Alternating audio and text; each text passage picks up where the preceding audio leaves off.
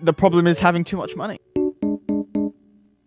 I made the I don't contract everything. Don't let it go to waste. Like, take a little- I've, I've grown an emotional attachment to Steve now. Die. We tried to we tried to arrest him and you know take him to the local authority. That's not going to happen, is it? We're going to kill this man.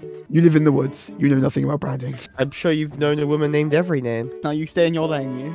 Probably was just ant bites. Those little they the fuckers. type I of don't think? I've seen them. no idea what Dabby is. Maybe he smelled the morning. It's like you know how people have resting bitch face. I have resting uncomfortable face. I slap her ass if she leaves. We're not on the same page. Yeah. We're on different libraries, different books, different everything. Oh, I, As much as I would love that to be true, and it probably is, it'd be so good if it just wasn't. Jolly good show, Turvy. Turvy Jolly good show. Right, but Jax is someone that I know, right?